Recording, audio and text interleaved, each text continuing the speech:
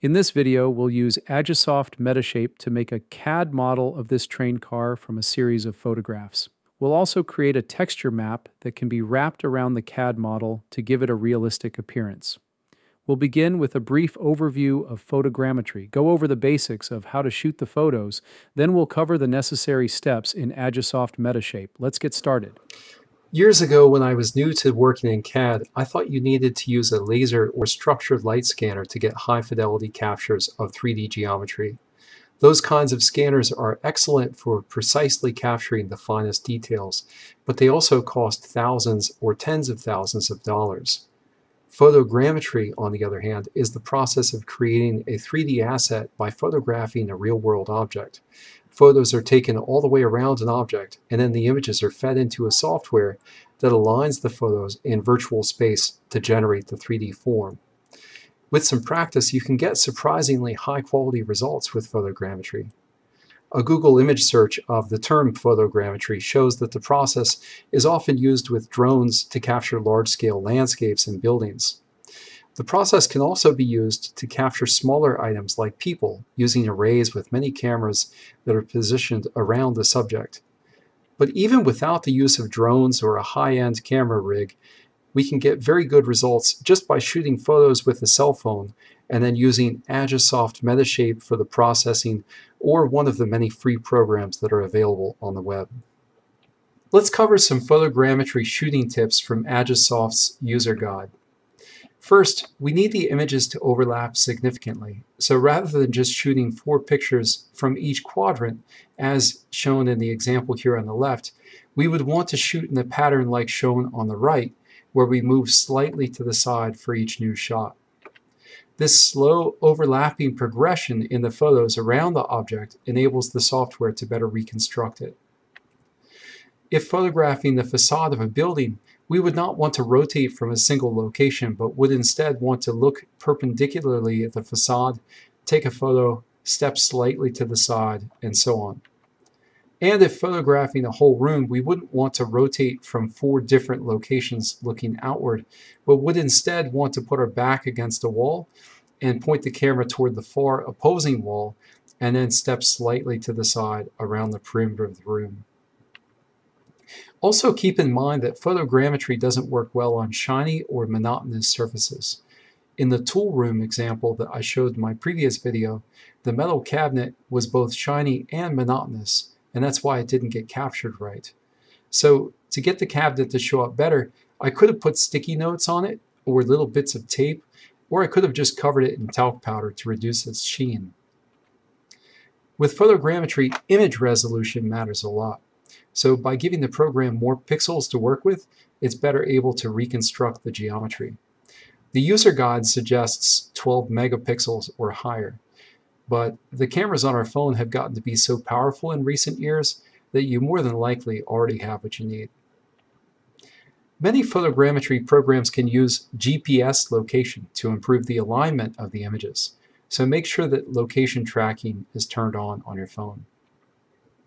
And it's a good idea when shooting photographs for photogrammetry to make multiple passes at different heights. So in this example, if we were shooting a human subject, you can see how with a single loop of photographs at eye level, we would be missing key areas below the chin and on the top of the head. So in addition to the eye level loop of photographs, we should take another loop from up high looking down and then another loop from down low looking up. To get started in Agisoft Metashape, we need to import our photographs, and we can do that by going over to Chunk, and then right-click on it, and go to Add Photos. Then navigate to where your photographs are, and select all of them. So I'll click on the first one, I'll drag the slider down, I'll hold Shift and click on the last one to select them all, and click on Open. And now you can see we have 88 cameras in the chunk. And now let's right click on the chunk and go down to Process, Align Photos. And I recommend using these settings. So we've got generic pre-selection turned on. We have the uh, accuracy set to high. Uh, we're using estimated. We're going to set the key point limit to 400,000, the tie point limit to 10,000, and make sure that adaptive camera model fitting is turned on and click OK. And this is going to take a minute, so I'll pause the video. Now that the first point cloud has been generated, we can take a look at the result. And you can see the caboose, that train car is here in the center. And uh, um, Agisoft has picked up a lot of points that are out in space pretty far away. The trees and uh, grass and, and, and, things like that that are off in the distance are showing up. Um, I'm navigating around by holding down the left mouse button and dragging. If we want to pan, we can hold the middle mouse button and drag. If we want to zoom, you just roll the middle mouse button forward or backward. So um, you can see we have this uh, box that surrounds uh, the, the train car. Now that box is uh, what's called a region and the function of the region is uh, now that we've generated the first point cloud we need to generate a, a second pass to make the dense point cloud but we don't want Agisoft Metashape to have to calculate that dense cloud for everything that's here. Instead, we want to scale down the region to encompass just those objects that are important to us. So we can go up here to this um, region dropdown, and uh, right now this is set to move. What we want to do, I think, to get started is to actually just uh, resize the region. So now we can grab these vertices and pull them over and the thing that I always get hung up on with this step is that um, you can't really easily navigate around in space um, when you have it set to um, um, some of these options like move I think it is so you just might have to click back on this um, navigation button sometimes to be able to get around uh, so anyway let's go back to resize region and we'll just scoot that over some and let's look at this from the top view. And now that it's getting to be a bit smaller, it looks like we need to rotate it as well. So I'll click here and go to rotate region and get that lined up a little bit better. And then we can go back to resize and we'll drag this vertex over and let's look at it from a lower angle. I find the navigation to be a little bit weird with this program. Okay, let's go down some.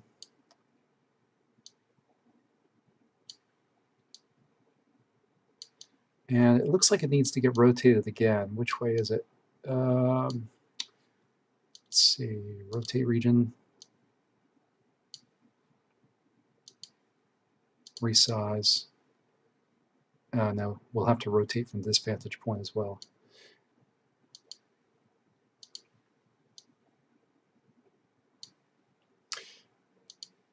And let's see.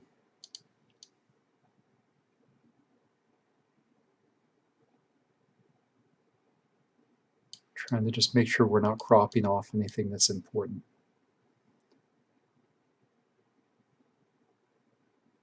I think that looks pretty good. Oh no, it needs to rotate a bit more. Let's just do one last rotation and then we'll move on to the next step.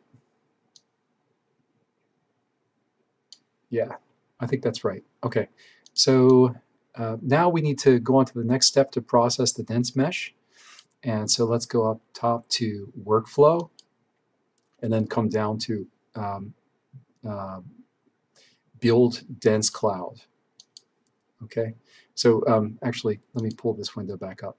So the first step that we did was to align the photos and now we need to build the dense cloud and then after that we'll be able to build the mesh and texture. They have everything set up chronologically um, or you know in, in sequence here in a way that makes sense. So build dense cloud and uh, I recommend using let me just check my notes and make sure that um, hold on just a second. For building a dense cloud, I recommend using these settings medium quality, aggressive depth filtering, and we'll calculate the point colors. So we'll click OK, and this will take a minute, so I'll pause the video. The processing has finished. but it appears that nothing has changed. And that's because we are still set to, to look at the point cloud. So what we need to do is click on the option to the right, which is the dense cloud. And we can see the result here. And um, we really don't need the tree parts that are here.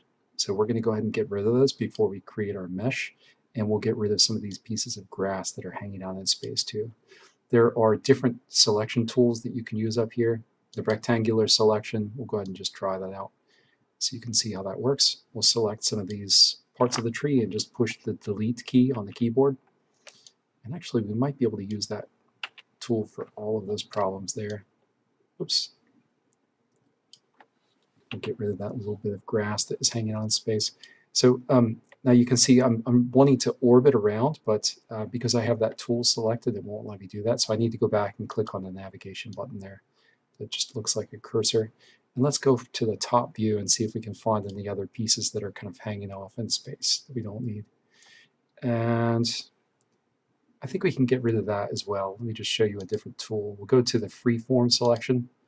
And this is nice for just um, getting into areas that are not shaped in quite a, a, a rectangular way like that other option. We'll just get rid of this bit of grass here. And let's look at this vantage point. I don't see any other big problems. So we'll go ahead and move on to process the mesh. So if we go, now that we've gotten rid of those little things that we don't need, we'll go up to workflow. And then, uh, so we've aligned the photos, we have built the dense cloud, and now we can build the mesh. So we'll click on that button and hold on. And the two main points I want to make here is that you, you want to set the face count to high so that it generates the, uh, the most complex mesh possible. And we want to calculate the vertex colors as well. So we'll click OK, and we'll let this process. Now that the processing of the mesh is completed, we have another option that is shown up up top here, which is model shaded. And so if we click on that, that shows us what our mesh looks like. And if we orbit up, you can see how we have some holes in the top of the train car, which I guess we shouldn't be surprised about because I took the photographs only um, with one loop around at eye level. If I really needed this to um, uh, be a good finished complete uh, model, maybe I could have shot another loop with maybe the camera held up on a pole or something so that we could look down uh, to collect that, um, that information. Um, and uh, for this, it doesn't really matter because it's just a quick example, but what this points to is the importance of just being very diligent about photographing all the parts of your model so that it will uh, end up being complete when you get it into Agisoft. And uh, there are some things, though, that we can do to clean this up. What I really don't like about this edge, uh, where the car goes up to the hole there, is that we've got these kind of flaring up uh, surfaces that we don't need and, and which um, have this kind of consistent weird color. So I'll show you how we can get rid of those. Um, let's uh, go up here and we'll select the selection tool uh, I'm going to click on the drop down and go down to freeform selection and then I'll just go through and very carefully try to select just those problematic faces and press delete on the keyboard. And actually let me orbit down a little bit so that we're farther down looking up at the model. That looks a little bit better. I think this is kind of the vantage point from which we'll see the train car in VR. And uh, let's go back to that tool and we'll select more of those problematic faces and delete them.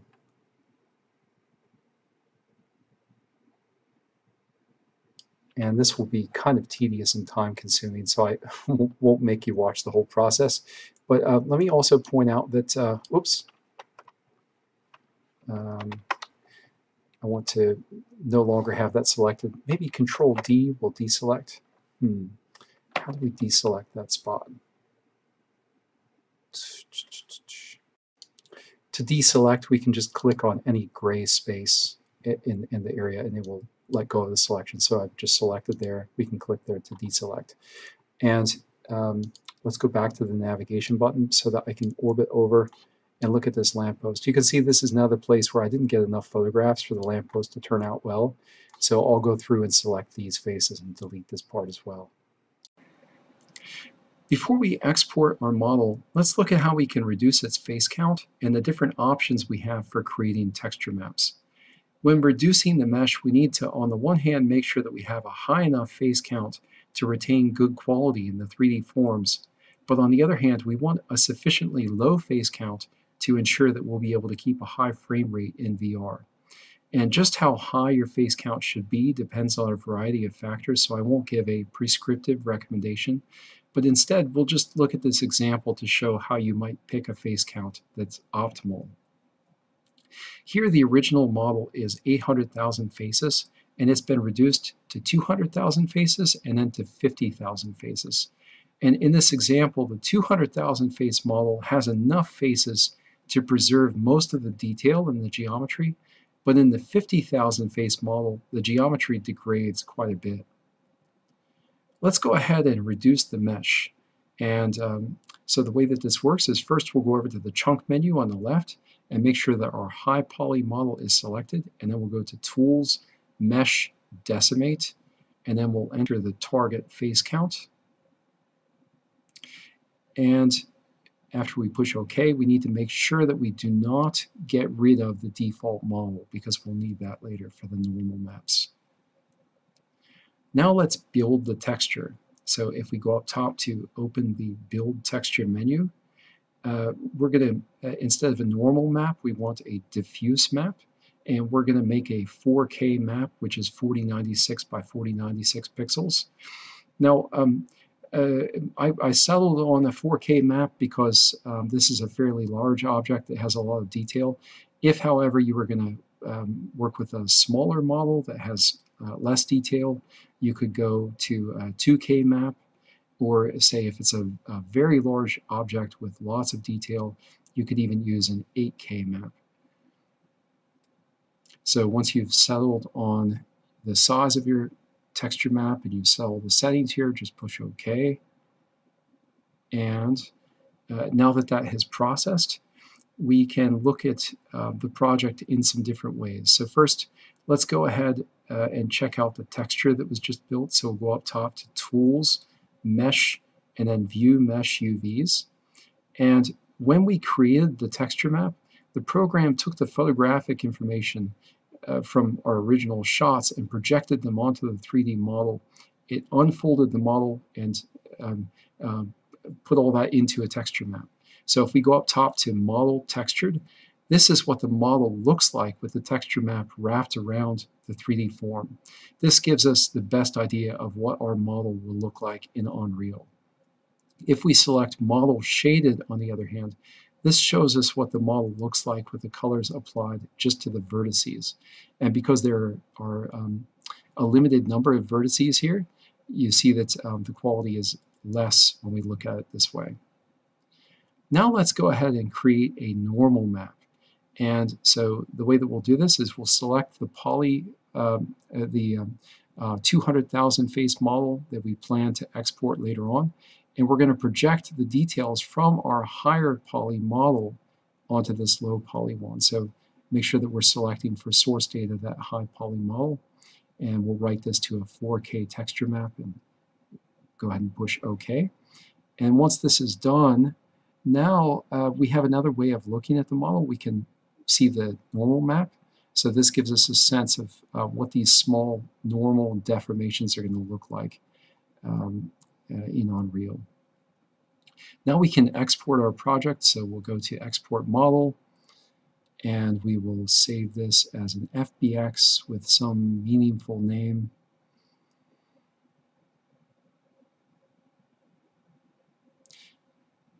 And we'll want on the next screen here to make sure that we are exporting the textures too.